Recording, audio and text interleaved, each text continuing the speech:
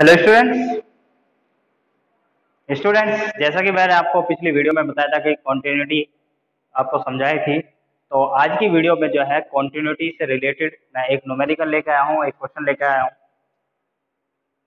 Question है F X is equal to two X plus three if X less than equal to two and two X minus three if X greater than two तो मैं आपको बता रहा था कि इसने क्या कहा कि यदि x की वैल्यू टू या टू से बड़ी होगी तो टू एक्स प्लस थ्री यानी यदि मैं इसको क्वाड्रेंट पे आपको दिखाना चाहूँ तो x की वैल्यू टू सपोज़ करो, यहाँ पर है x इक्वल टू टू तो इसने कहा x की वैल्यू टू यानी x की वैल्यू यदि टू रखता हूँ तो two into two four plus three seven seven suppose करो, यहाँ पर है y इक्वल टू सेवन यहाँ पर है। तो यहाँ सेवन आपका और ये टू तो यानी आपका जो पॉइंट है, पहला पॉइंट यहाँ मिलेगा। उसके बाद x की वैल्यू टू से मैं बढ़ाता जाता हूँ।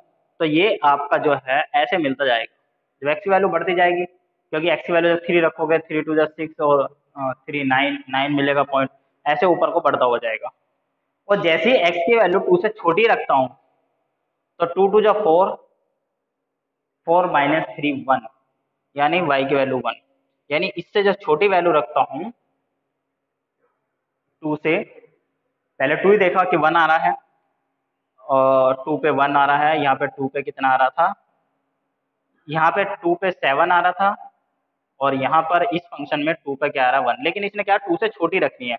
टू से छोटी मतलब वन रखनी है। तो टू वन यानी माइनस वन माइनस वन यानी दिस वन पे माइनस वन यानी एक पॉइंट आपको यहाँ मिलता है, यदि x की वैल्यू वन रखते लेते हैं हम, x की वैल्यू वन रखते हैं तो माइनस वन मिल जाता है। एक यहाँ मिलते हैं, यहाँ और यहाँ से हम इसका ग्राफ जो है, ऐसे नीचे को बढ़ता जाएगा। नीचे को। ये ऊपर को जाएगा, ये नीचे को। अब हम ग्राफ के अकॉर्डिंग देखा कि भाई एक्स की वैल्यू जब टू या टू से बड़ी होती है तो ग्राफ ऊपर को मिलता है टू या टू से छोटी होती है टू से छोटी होती है तो नीचे को मिलता है। तो क्या इस बीच में ये फ़ंक्शन डिसकॉन्टिन्यूस है या नहीं है? तो इसका तो इजीली ग्राफ बन गया है। तो हमें पता लग रहा है कि भाई एक वहाँ है, एक यहाँ पर तो बीच में टूटा हुआ है सर। ये ग्राफ जब टूटा हुआ है तो ये कॉन्टिन्यूस तो हो ही नहीं सकता। चलिए, बिल्कुल कॉन्टिन्यूस नहीं हो सकता। अब ये तो हमें ग्राफ से हुआ, लेकिन जो हमने डेफिनेशन पढ़ी थी लेफ़्ट हैंड लिमिट और राइट हैंड लिमिट उससे भी चेक कर लेते हैं कि क्या इस फ़ंक्शन क्या ये फ़ंक्शन कॉन्टिन्यूस है या नहीं है। क्योंकि इसका तो इस क्वेश्चन का तो इजीली ग्राफ बन चुका है, लेकिन आगे के जो क्वेश्चन है, उनका ग्राफ इजिली नहीं बनेगा। कैसे पता लगेगा कि कौन फ़ंक्शन आपका कॉन्टिन्यूस है या डिसकॉन्टिन्यूस है? तो देखिए right hand limit right hand limit अब सबसे पहली बात है कि भाई हमें ये पता है कि टू से बड़े फ़ंक्शन पर कहीं भी टूटा हुआ नहीं है। क्यों नहीं टूटा हुआ है? क्योंकि जो टू से बड़ा फ़ंक्शन है, वो ये है, इसका डिनोमीटर में कुछ है ही नहीं। और डिनोमीटर में कुछ नहीं है तो यानी ये नो डिफाइंड नहीं होगा। ऐसे टू से कम पे भी सॉरी टू से ज़्यादा पे भी और टू से कम पे भी। और उल्टा लिख दिया भाई, टू से लेस के लिए नीचे वाला फ़ंक्शन काम कर रहा था। यानी सेवन मिलेगा। टू से लेस के लिए सेवन मिलेगा। यानी ऐसे नीचे की तरफ़ आएगा। और टू से ज़्यादा के लिए वन मिलेगा। ये सेवन मिलेगा और ये हमें और ये हमें वन मिलेगा। ठीक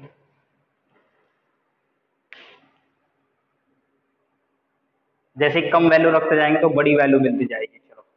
तो अब हमें बस ये देखना है कि भाई, यानी टू से कम वैल्यू के लिए भी फ़ंक्शन कैसा है? हमारा कॉन्टिन्यूटी कॉन्टिन्यूस है और टू से ज़्यादा के लिए भी कॉन्टिन्यूस है। बीच में ब्रेक नहीं है। ब्रेक होता है जब जब हमें आउटपुट नहीं मिलता।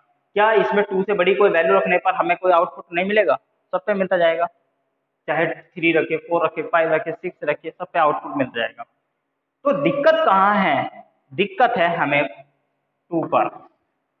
क्योंकि टू पर नहीं टू पर यदि हम इस फ़ंक्शन में रखते हैं टू पर वैल्यू तो सेवन मिलती है, इसमें रखते हैं तो माइनस वन नहीं मिलती है। तो टू पर हमें डाउट है तो इसलिए हम चेक करेंगे टू पर। यानी इसकी क्वान्टिटी चेक करनी है। Check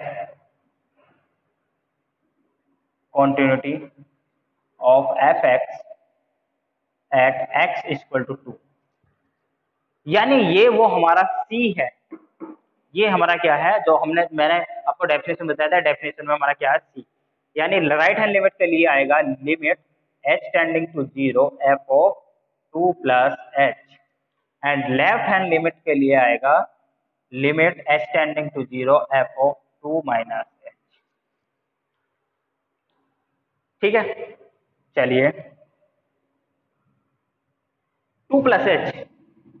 Two plus h पर वैल्यू क्या होगी? टू प्लस एच, यानी टू में कुछ ऐड हो रहा है, कुछ प्लस ऐड हो रहा है।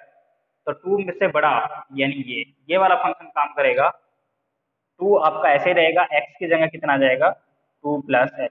अब एक्स की जगह क्यों आया? क्योंकि जब एफ़ एक्स था तो ये एक्स ऐसे कर रहा, काम कर रहा था। अब ये एक्स की जगह क्या है? Two plus h. और माइनस थ्री इसकी भी साथ साथ वैल्यू निकालते चले भाई। Two minus h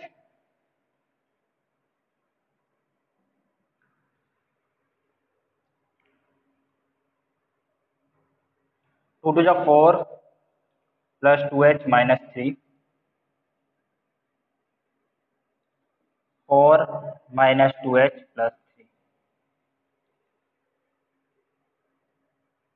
h की वैल्यू ज़ीरो रखेंगे तो ये कंप्लीटली ज़ीरो जाएगा तो ये आ जाएगा वन यहाँ पे एच की वैल्यू ज़ीरो करेंगे तो क्या आएगा? सेवन वही राइट पे वन आ रहा है, उस पर सेवन आ रहा है. यानी यहाँ से हमें पता लगा कि राइट हैंड लिमिट और लेफ़्ट हैंड लिमिट दोनों ही अनइक्वल है. किस पर? At x is equal to two पर. This implies f is not continuous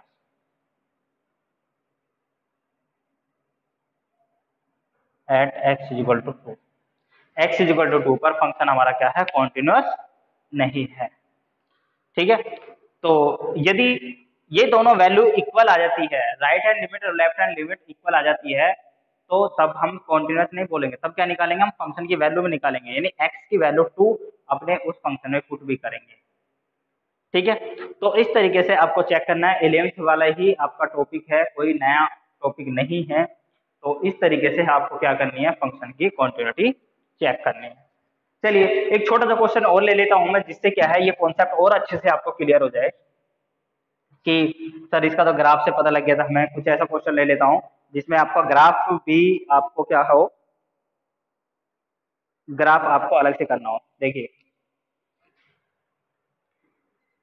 F x equal to mod x upon x mod x upon x is x is not equal to zero and zero if x is equal to zero ठीक है? देखिए, अब इसका graph बनाना तो बहुत complicated हो जाएगा भाई। कि कैसे हम इसका ग्राफ बनाएँ? बहुत इजी भी है, लेकिन थोड़ा ज़्यादा कॉम्प्लिकेटेड हो जाएगा। इसका ग्राफ बना के हम इसकी क्वान्टिटी कैसे तो इसके लिए हम क्या है, यही तरीका अपनाएँगे। अब इसे डाउट कहाँ पर है हमारे पास? अब देखिए, जो हमारा ये फ़ंक्शन है, इसमें डिनोमीटर है। डिनोमीटर ज़ीरो होते ही नोट डिफाइन हो जाता है, यानी आपको आउटपुट नहीं मिलेगा। लेकिन एक्स की वैल्यू तुमने पहले बोल दिया कि ज़ीरो है ही नहीं। तो इसका मतलब क्या है कि ये जो है, यदि हम ज़ीरो नहीं लेते एक्स की वैल्यू तो कोई दिक्कत नहीं है, क्योंकि ज़ीरो पे तो क्या आ रही है? एक्स की वैल्यू ज़ीरो आ रही है। एक्स की वैल्यू क्या दे रहा है? ज़ीरो दे रहा है ये वाला। ये पे, यहाँ पे ये नो डिफ हो रहा है। तो यानी ज़ीरो पे ही ज़ीरो ही ऐसा पॉइंट है जिस पर हमें क्या है प्रॉब्लम है कि इसको कॉन्टिन्यूस है या नहीं है, ये ज़ीरो पे ही हमें डाउट है इसका। बाकी तो हमें कहीं पर कोई डाउट नहीं है ज़ीरो से बड़ी कोई सी वैल्यू ऐसी ले ले कि इस पे सारे पे क्या होता है कॉन्टिन्यूस हो रहा है। तो हम इस पर चेक करेंगे। At x is equal to zero पर। Right hand limit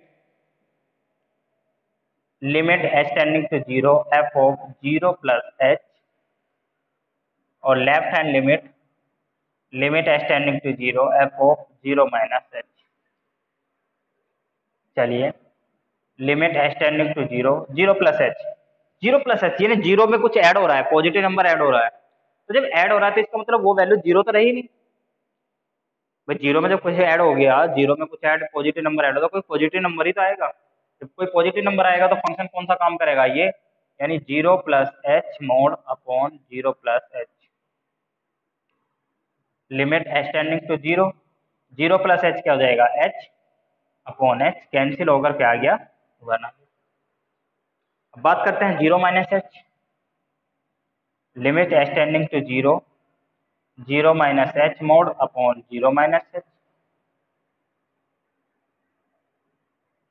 अब zero minus h zero minus h क्या होगा? माइनस एच उसका मोड लगा हुआ है। और मोड क्या करता है? नेगेटिव को पॉजिटिव कलर देता है।